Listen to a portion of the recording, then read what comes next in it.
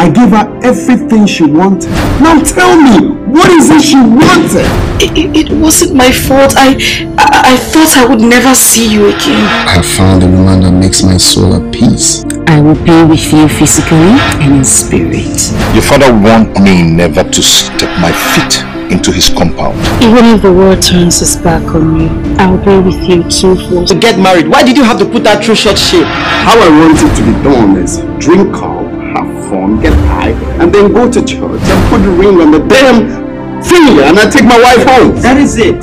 Those tell me that I will never marry their only daughter. What we have is strong enough to to make us come out victorious. I know it's not easy getting over this. Despite your pretense, you must have gotten over it. I gave her all the love. I was patient. What happened? Oga, none of these women want my heart.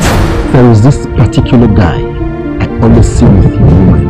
Please do not give up on me. I don't want to. I, I don't want to. I really want to be with you the whole time. But I can't go against my foundation. Why are you making life so difficult for me? Why?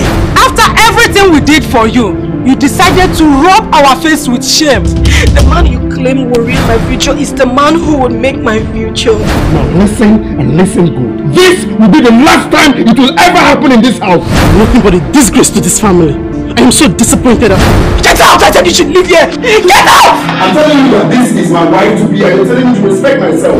Might may be poor, but I have feelings for you. Yeah! Are you not ashamed of yourself, like I am asking you? Are you not ashamed of yourself? Someone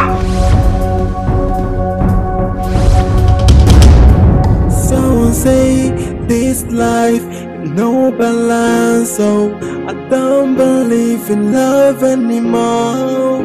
What happened to love? What happened to care? What happened to the sweet memories that accompany love?